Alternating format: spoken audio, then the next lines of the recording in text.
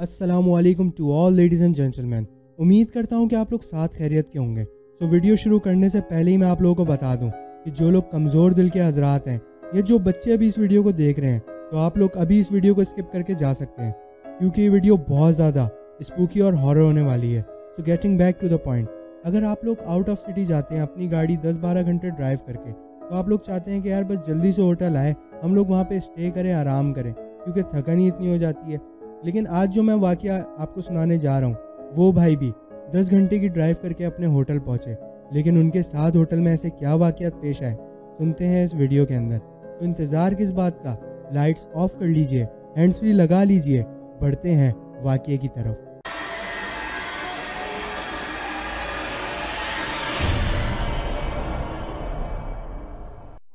मुझे गाड़ी चलाते हुए तकरीबन दस घंटे हो चुके थे।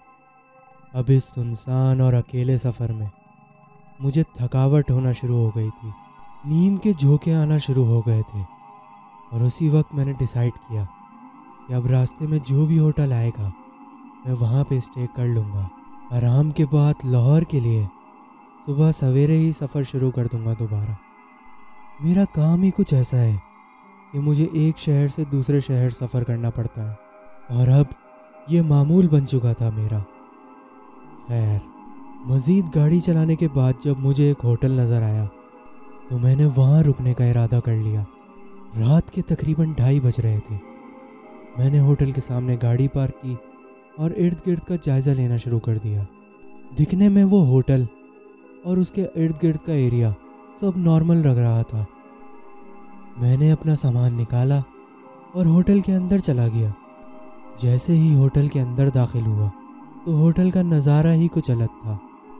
जो होटल बाहर से नॉर्मल सा होटल लग रहा था, लेकिन अंदर से उतना ही आलीशान था। रिसेप्शन पे जाकर मैंने कमरा बुक करवाया और मुझे रूम नंबर 209 की चाबी दे दी गई। मेरा कमरा सेकंड फ्लोर पर था और लिफ्ट ना चलने की सूरत में मुझे सीढ़ियों से ही ऊपर जाना पड़ा।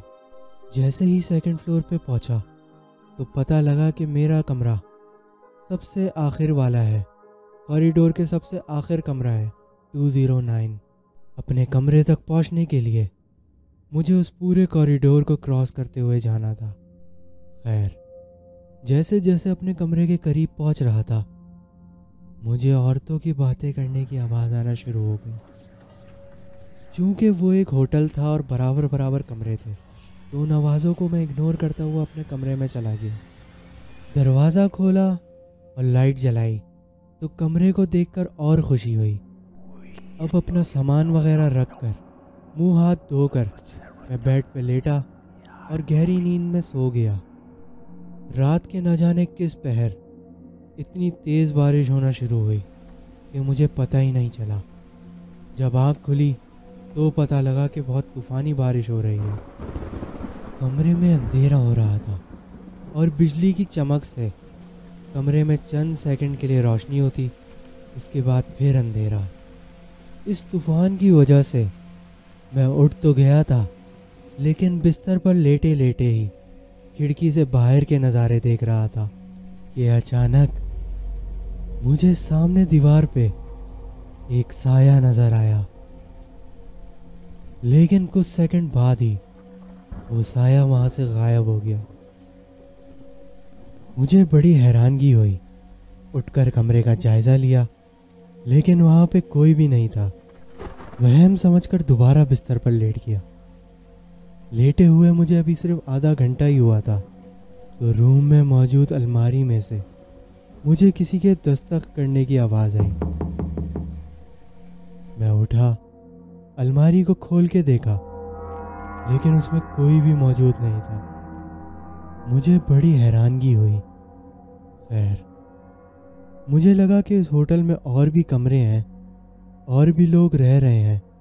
तो हो सकता है कि कोई बच्चा शरारत कर रहा हो। मैंने कमरे का दरवाज़ा खोला और झाँक कर देखा तो बस, मुझे एक जाती हुई औरत नज़र आई। मुझे लगा कि गलत कमरा समझ के नॉक कर दिया हो। और जब गलती का अंदाज़ा हुआ हो तो चली गई हो। खैर, मैंने भी बग़ैर कुछ पूछे, दरवाज़ा बंद कर दिया।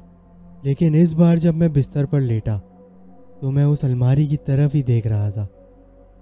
क्योंकि मुझे कन्फर्म था कि उस नॉक की आवाज़ उसी अलमारी में से आई थी। और यही सोचते सोचते मुझे ऐसा महसूस होना शुरू हुआ कि इस कमरे में कोई और भी मौजूद है। ऐसा लगा कि मेरे पीछे ही कोई और मौजूद है। उसके सांसों तक की आवाज़ मुझे आ रही थी। अभी यही सब हो रहा था कि अलमारी में से दोबारा नॉक करने की आवाज़ आना शुरू हो गई। आवाज़ इतनी ज़ोर से आ रही थी कि मैं डर के मारे बिस्तर पर ही उठकर बैठ गया। जैसे ही मैं उठकर बैठा तो उस कमरे के बाथरूम का दरवाज़ा हल्के हल्के खुद ही खुलना शुरू हो गया। और एक पॉइंट तो ऐसा आया कि मैंने उस दरवाजे के पीछे से एक औरत को जागते हुए देखा। ये सब कुछ चंद सेकंड में हो रहा था। मुझे लगा कि शायद थकावट की वजह से ऐसा हो रहा है। खैर, अपनी दुआएँ वगैरह पढ़कर दोबारा सोने लेट गया। इस बार नॉकिंग की आवाज़ बिल्कुल बंद हो चुकी थी और कमरे में बिल्कुल अंधेरा और खामोशी थी। तभी अलमारी का दरवाज़ा खुद खुलना शुरू हुआ। ये सब मैं अपनी आँखों से देख रहा था कि अचानक से मेरे बेड के सामने एक औरत चलना शुरू हो गई, जो बहुत तेज़ी में वॉक कर रही थी। ऐसा लग रहा था कि कोई बहुत गुस्से में हो। और वॉक करते करते उसकी नज़र मुझ पे पड़ी और वो वहीं रुक के मुझे देखना शुरू हो गई। उस वक्त जितनी दुआएँ मुझे आती थी, मैंने पढ़ना शुरू करी और हिम्मत करके कमरे का दरवाज़ा खोलते ही वहाँ से भागा। जब नीचे रिसेप्शन पे गया और शिकायत की तो वहाँ पे दूसरा बंदा मौजूद था। वो भी मेरी हालत देखकर परेशान हो गया। मैंने उसे सारा माजरा बताया तो उसने कहा कि आपको इस रूम की चाबी किसने दी है? इस रूम में रहना और रिहाइश करना सख्ती से मना है। तो पता चला, जिस शख्स ने मुझे उस रूम की चाबी दी थी, वो न्यू अपॉइंट हुआ था और उसको इस बारे में बिल्कुल भी इल्म नहीं थी।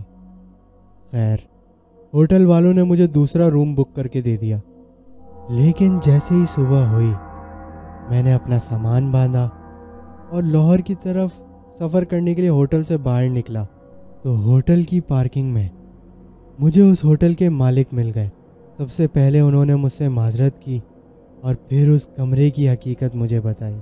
वो कहते हैं कि ये कमरा दस बारह सालों से बंद है और जानबूझ के इसको बंद कर दिया गया है।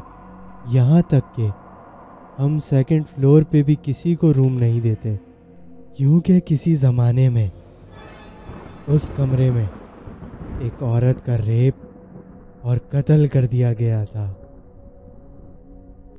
उम्मीद करता हूँ कि आप लोगों को आज की हमारी ये वीडियो पसंद आई होगी।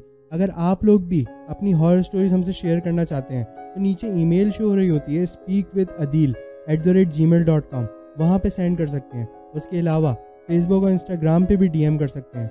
अगर आप लोग मज़ीद ऐसी हॉरर स्टोरी सुनना चाहते हैं तो अभी आप लोग हमारे चैनल को सब्सक्राइब कीजिए। और बेल आइकन को भी ज़रूर प्रेस कीजिए।